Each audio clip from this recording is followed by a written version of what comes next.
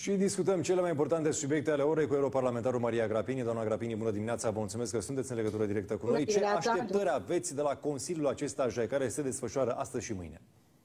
Da, e foarte bună întrebarea. Ca să avem așteptări, trebuia să știm cu ce mandat merge ministrul acolo. Am mai spus-o de foarte multe ori că în consiliile de miniștri, mai ales pe subiecte atât de importante, uh, trebuie să existe o transparență, trebuie să, știe, să știm cu ce mandat a plecat ministrul uh, de interne, pentru că nu se duce doar cu ideea lui, trebuie să meargă cu un mandat de țară. Asta este unul. Doi, și noi am discutat în Comisia Libertăți Civile, acum două zile, uh, problema spațiului Schengen, nu problema de extindere, așa cum se discută și în JAI acum, ci funcționarea spațiului Schengen. Pentru că, și eu zic că ne ajută această discuție dacă, bineînțeles, ministrul de interne știe să pună bine problema.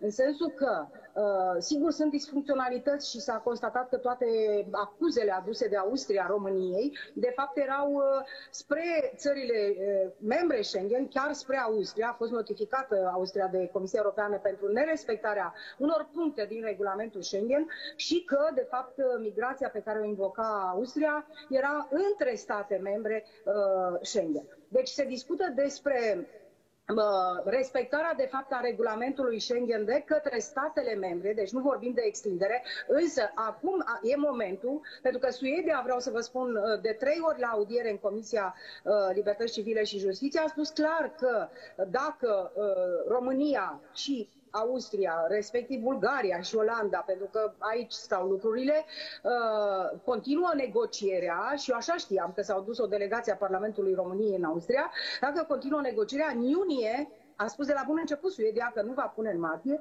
în iunie va pune pe ordinea de zi uh, aderarea României și Bulgariei. Dar depinde de ce facem noi. Eu nu am înțeles tăcerea din 8 decembrie până acum a celor care se ocupă de politică externă, respectiv președinte, ministrul de externe, ambasadorul nostru de acolo. Nu, a mai, nu s-a mai aflat nimic în spațiul Schengen că ar fi fost demersuri bilaterale, întâlniri directe pe, cu regulamentul în față. Deci aici este slăbiciunea de fapt a noastră pentru uh, neacordarea unui drept uh, care îl avem uh, prin tratat și prin regulament.